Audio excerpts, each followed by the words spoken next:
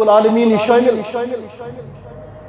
لیکن پتہ ما ناگمی کس مسلمانس یتھ یت وچن مے کر ناگمس اندر کم بس؟ یتھ پنس اند پک علاقن ترو نظر.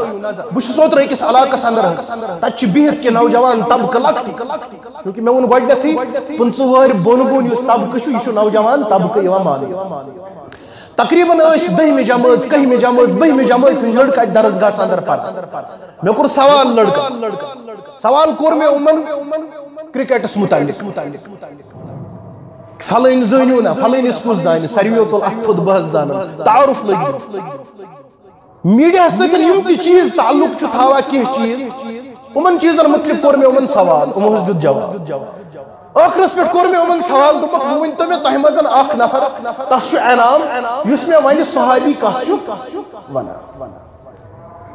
کرکٹر یُس اوس تسُنٛد اوس سورُے تاو ننگنا چمو سوسائٹی ہاوا، اس تم سندو سوری تار یل میں یہ کر عرض تمن کہ میں وین تو کس کہ تہ مزن کہ صحابی کس چھ منا ام سن تعارف والله العظیم والله ثم والله ساری سریو ترو قلبون یہ ذمہ داری کس ترے نفر شو ترے طبق شو تم۔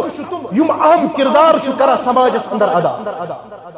اخ طبق شو والدین اندر بیاکھ طبقہ چھو آسا مالس ماج اخ طبقہ گو والدین ہن بیاکھ طبقہ چھو آسا خاندار سن۔ اور بیاکھ طبقہ چھو آسا استاد سن۔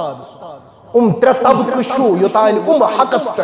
یت کن یم رہبری تو رہنمائی کرن پنس پت کنت رعایس یہ قوم چھو عروجس نت چھو قوم یوا صفائی ہستی پیٹھن حرف غلطی پیٹھن ختم کر۔ لہذا مسلمانوں نوجوانوں چھو ضرورت ہم سمجھن پنن مقصد زندگی کیا مقصد زندگی چھو وما خلقت الجن والانس الا ليعبدون۔ مقصد زندگی چھو الذي خلق الموت والحياة ليبلوكم أيكم أحسن عملا۔